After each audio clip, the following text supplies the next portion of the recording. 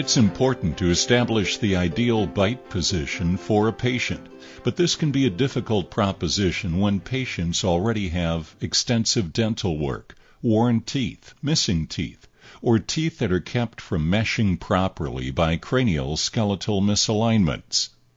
The Myotronics K7 evaluation system allows us to gather and record objective information on the current status of the muscles controlling the bite. The system gathers information in three different configurations. First, we place duotrodes on the skin over the muscle groups that control chewing, talking, and swallowing. There you go. We then connect the leads from the 8-channel electromyography unit, which measures electrical activity in the muscles.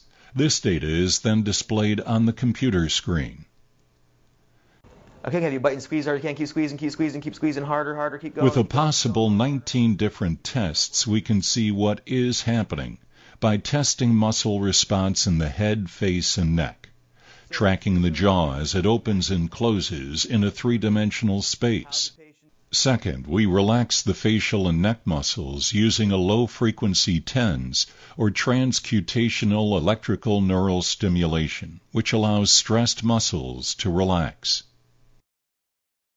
Next, we place a magnet under the tongue of the patient and strap on the sensor array, the front part of which rests on the bridge of the nose. Is that too tight?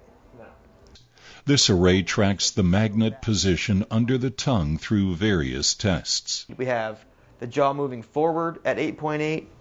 We have the patient moving 10.5 millimeters to his right and only 8 millimeters to his left.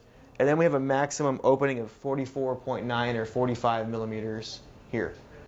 After calibrating and leveling the array using bite adjustment protocols, we can establish the best physiological bite position for the patient, one that is relaxed, strong, and aligned with the surrounding structure, one that efficiently handles the bite force.